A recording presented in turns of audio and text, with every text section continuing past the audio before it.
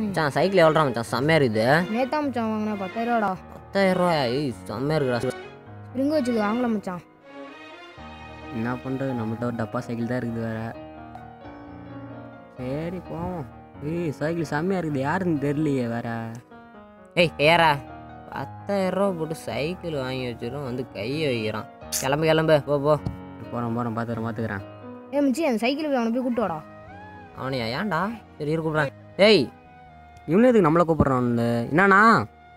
ஏய் வாடா. நான் வரேன் வரேன். ஏய் சைக்கிள் வாங்கிருக்கோம் புதுசா? ரேஸ் வரியா? நான் சைக்கிள் சரியில்லை வாடா. சரி வரண்ணே.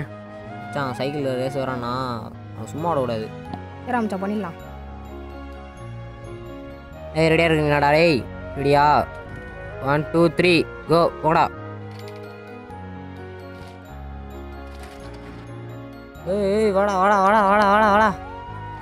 சார் ரேஸில் தோத்துட்டோமே என்ன பண்ணுறது சான் பாத்தியா வை கிளம்பு கிளம்பு போ போ போ போ. கிளம்பு, கிளம்பு, சரி போயிட்டு வரண்ணே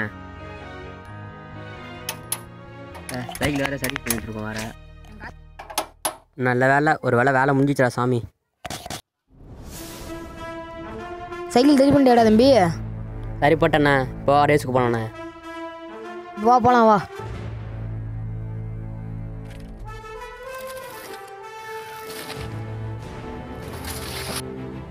நீ சூப்பரா தம்பி சூப்பரா. நான் வச்சுக்கலாம் சரிண்ணே சரிண்ணே அதெல்லாம் ஒன்றும் பிரச்சனை இல்லைண்ணே முயற்சி பண்ணால் இது முடியாதுன்னு தெரியல. முயற்சி பண்ணால் எல்லாம் முடியும்.